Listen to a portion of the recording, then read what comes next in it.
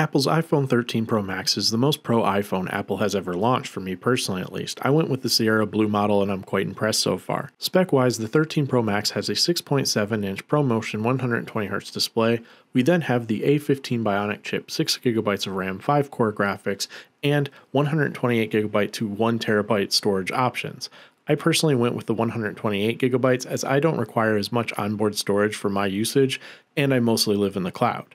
For the cameras, we have a familiar triple 12 megapixel setup on the back with the wide telephoto and ultra wide cameras as well as LiDAR. Aside from the usual camera specs this year, Apple introduced a macro photography mode on this iPhone 13 Pro Max, and it's quite awesome. We'll talk more about that later. ProRes video is coming to the iPhone lineup later via an update. If you're interested in ProRes, make sure you opt for a larger storage option, preferably 1 terabyte as it takes up quite the real estate. Then we have the 4,352 milliamp hour battery with fast charging at 27 watts when connected to that lovely lightning connector. Overall on paper, this is certainly a refinement series, but this is the most refined iPhone to date, making it truly a pro experience when you put all of these specs to use. Regarding this build, the iPhone 13 series is very similar to the 12 series, though it's slightly thicker and the camera array is larger as well. Every other inch of this iPhone 13 Pro Max, however, is the same as the 12 Pro Max. I was skeptical of the Sierra Blue at first, but it has grown on me, especially since the color is really what sets this apart from last year's iPhone 12 Pro Max series. While I prefer to go caseless, I decided to go with a case on this, opting for now the Apple MagSafe silicone case, which pops a bit with the color combo here, and I quite like it. Though I'm not thrilled Apple continued with the Lightning port over USB Type-C, battery performance on the 13 Pro Max is hands down the best battery performance I've experienced on any smartphone period. I end most nights with 30 to even 50% battery remaining even with heavy usage, averaging 8 to even close to 10 hours of on-screen time. While 120 Hz is not a make or break for me, it's finally nice to see it on the iPhone 13 Pro Max, which by the way is buttery smooth, and since it's a variable refresh scaled down when not needed, it doesn't seem to hinder the battery at all thus far. We shall see how that holds true once more apps include 120 Hz. Watching content, of course, on this display is bright, colorful, and immersive. I love watching YouTube, Netflix, Hulu, etc. on this beautiful display. Gaming on the iPhone 13 Pro Max is also quite the immersive experience, and aside from the 120 Hz, this iPhone is a performance beast. Not only multitasking, but playing graphic intensive games, even jumping in and out of multiple games, is a breeze. The graphics look incredible and also feel incredibly powered by that ProMotion display and that awesome A15 Bionic chipset. Apple has really gone above and beyond in terms of performance here, and it's truly the fastest iPhone ever made.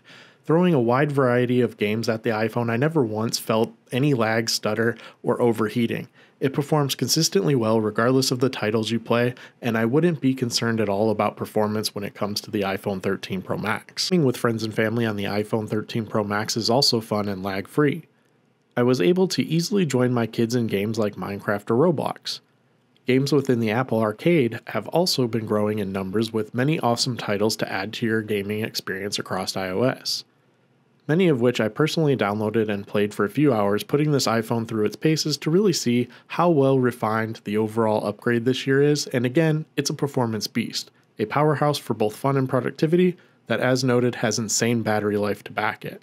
That being said, I think if you're a gamer looking for an awesome gaming experience here on the iPhone, I think you're definitely going to get that here on the 13 Pro Max, as well as the 13 Pro, as the specs are very similar. Both have very solid, impressive battery life, but again, with the battery life that I've seen on the 13 Pro Max, you're certainly not going to have to worry. Being able to play several games, multitask throughout your day, watch content, make content, whatever you need to do on the iPhone 13 Pro Max, that battery life is not going to hinder you in any way, shape, or form. And you're definitely going to enjoy the experience throughout, especially with now that ProMotion display. Let me know some of your favorite iPhone games in the comments down below. I'm definitely interested to hear what games you're interested in playing, and maybe I'll add them to some of my next videos.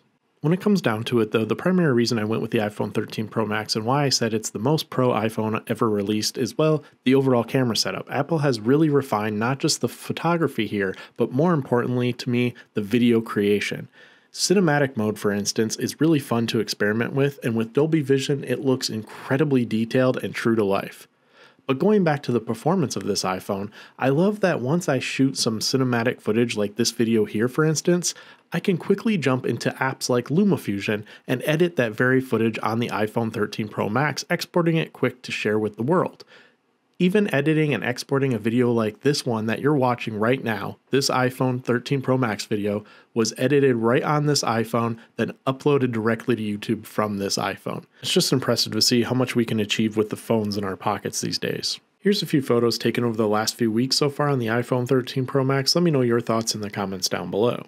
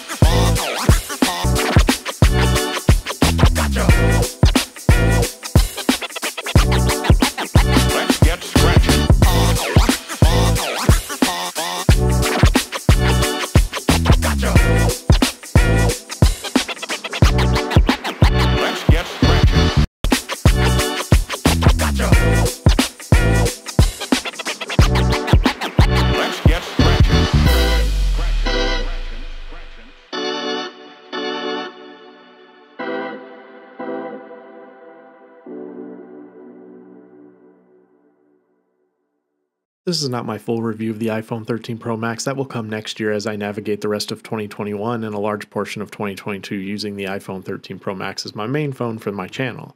I plan to use the cameras on board to shoot most of my content for the channel. As you know, I like to also use a lot of Android devices as well, so I'm curious to see how the iPhone compares as we head further into Techtober and beyond. For now, though, this is the most pro iPhone for me, and it further enables me to do more with my content, and for that, I'm grateful for all of the refinements Apple has made here that really sum this up to be an excellent upgrade this year hit that like button. Don't forget to subscribe as we're on the road to 1,000 subscribers. Thank you for watching. Take care and stay safe.